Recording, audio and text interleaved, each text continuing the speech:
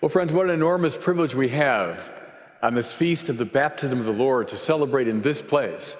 Because there, right behind us, I think the most magnificent of all the tapestries, that beautiful depiction of the baptism of the Lord. So maybe keep that image fixed in your mind as I preach this morning. You know, about 20 years ago, I had the privilege of meeting Godfrey Diekman. Godfrey was a monk of St. John's Abbey up in Collegeville, Minnesota. Maybe not a household name, but he had a huge impact on the church in the 20th century. Because Godfrey was the editor of this um, theological journal about the liturgy. He led, in many ways, the liturgical movement of the 20th century, which led to Vatican II. In fact, Godfrey was at Vatican II. He knew uh, John the 23rd, Paul the 6th. He helped to write the document on the liturgy. So, a major player in the life of the church, someone who had fought all kinds of battles. Well, I met him when he was about 92 through a mutual friend. And when I met him, Godfrey was in a wheelchair and he had this uh, cane always in his right hand, but a very lively fellow, full of humor and full of stories and energy. So after a while, when I got to know him a little bit better, I said, Godfrey, if you were young again and you could mount the barricades, what would you fight for in the life of the church? And I was sitting across from him, and I'll never forget, he brought the cane down on my knee. Boom. And he said, The mystical body. It wasn't the answer I was expecting. The mystical body. It was the central idea for Godfrey Diekman. It was the central idea for most of the leaders of the liturgical movement. What does it mean? It means that we, members of the church, are not just members of the Jesus Christ Society.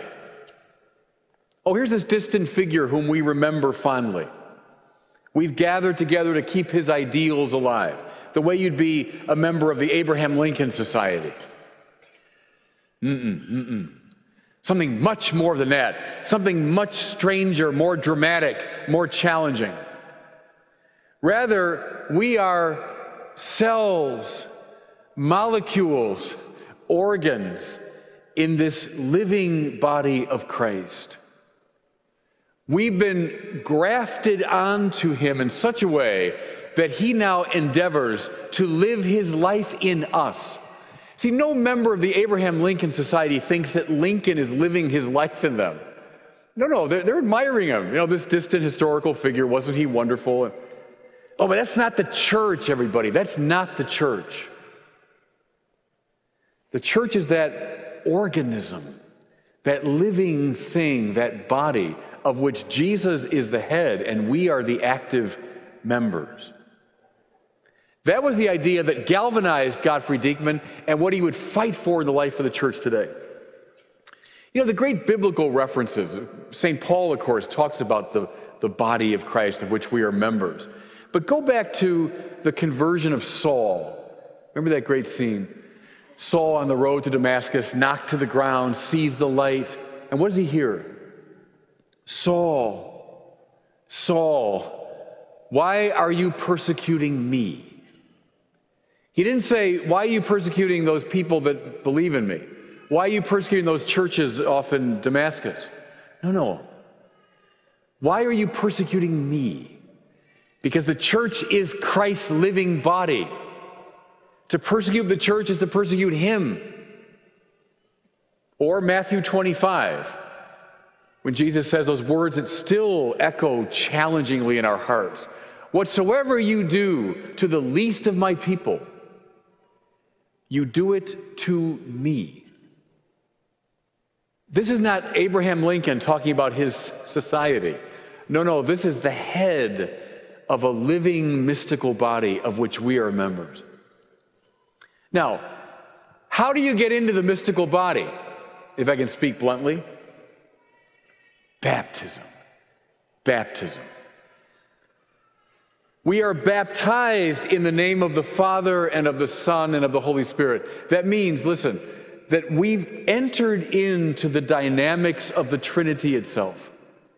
Sons and daughters in the Son, we are now in a intimate living relationship to God the Father. More to it, the love that connects the Father and the Son is the Holy Spirit. To be baptized is now to be drawn into the very life of God.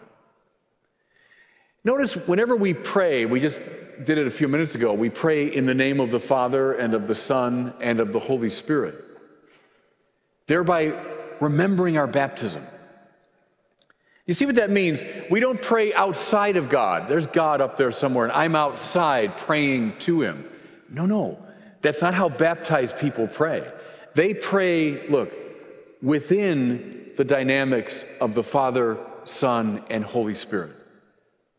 We pray within God, within God, because we are members of Christ's mystical body. Okay, three implications from this. And look around, by the way. The tapestry back there, the baptism. But now, listen, the implications of the baptism are all around us. We are connected to one another the way organs in a body are connected. Now, I know this is difficult for us Americans to get because we're predicated so much upon an individualistic philosophy. Look how litigious our society is because my rights. Don't violate my rights. Who are you to step on my rights? And I won't step on your rights, but don't, don't step on mine. See, we tend to be individualistic. My life's about me and protecting my interests. Whatever society we have is by a sort of social contract. We agree to enter into this contract. But then there's the church. Like it or not, as a baptized person, a member of the living mystical body of Christ, you are connected to all baptized people across the ages. Yes, every one of these saints, brothers and sisters to us. But now, now, press it. Not just the saints but the good, the bad, the ugly, the indifferent. Everybody who's baptized is connected to us the way organs in a body are connected to each other. How ridiculous if the lungs were to say to the liver that is affected by cancer, That's your problem. I'm not going to worry about that. That's your problem. How ludicrous, how ridiculous. In very short order, that problem in the liver will become a problem in the lungs, it will become a problem for the whole body. And therefore, everybody, how ludicrous of us to say, oh, the suffering of that person over there, my, my brother or sister in the mystical body, that's not my problem. I, I'm not worried about that. I'm going to go to sleep peacefully. Maybe I'll say a little prayer, but I, I mean, I'm not that concerned about that person's suffering. Their problem is your problem. My problem is your problem. We're all connected. We are connected to each other. Which is why the corporal and spiritual works of mercy make so much sense once you realize the implication of your baptism. Of course, of course, I'm on for extending mercy to everybody. Here's a second implication. If baptism means the beginning of Christ's life in us, it's the beginning of the divine life in us. What else do we need? We need the other sacraments. Do you know we're living in a time right now? It's one of the most disturbing statistics you'll see. When Catholics, members of this mystical body, are in huge numbers staying away from the sacraments. How many come to Mass? 25%, maybe? 20%? Baptisms are falling off in parishes around the country. Fewer and fewer people bringing their kids to be baptized. Marriages are falling off. How ludicrous that is. If baptism gives us the life, right? You need those things that will sustain that life. What if there's a little baby, newly brought in the world, never fed, never given to drink, what will happen? The baby will die in short order. What's the Eucharist? Why are we here? The Eucharist is the feeding of the divine life within us. Without it, we'll starve to death. Quite right. What happens if we get sick in the physical order? Well, we go to get treated. We go to a doctor. We take medicine. Do we get sick spiritually? All the time. It's called sin. Mortal sin will put to death the life in us. That's why we call it mortal sin. Where's the doctor? Where's the medicine? The sacrament of reconciliation. Oh, I haven't been to, I haven't been to reconciliation in 30 years. And you, you're wondering why you're so sick spiritually? What's marriage? Holy orders. Ways of ordering life to a purpose. Everybody, the sacraments are the indispensable sustainers of the life within us. Here's the last connection. And again, with these saints around us in mind. We're the mystical body. That means we are in direct continuity with Christ in his historical body. So we hear that the Word, the Word of God, became flesh, took to himself a human nature, that of Jesus of Nazareth, and he walked the earth for 30 some years. There's the first incarnation. But there is in Catholic theology a kind of second incarnation. That's when that same word, Jesus, that same word, Christ, takes to himself now his mystical body. Us. Us. Who are we? His mind, his heart, his feet, his hands, his eyes. Every one of these people around us, members of the mystical body in their time, functioned as the means by which Christ was continually transforming his world. Thomas Aquinas, through the exercise of his magnificent mind, Thomas More, with the witness of his life, Catherine of Siena, with her mystical prayer. Look at all the saints and the martyrs, the teachers, the witnesses.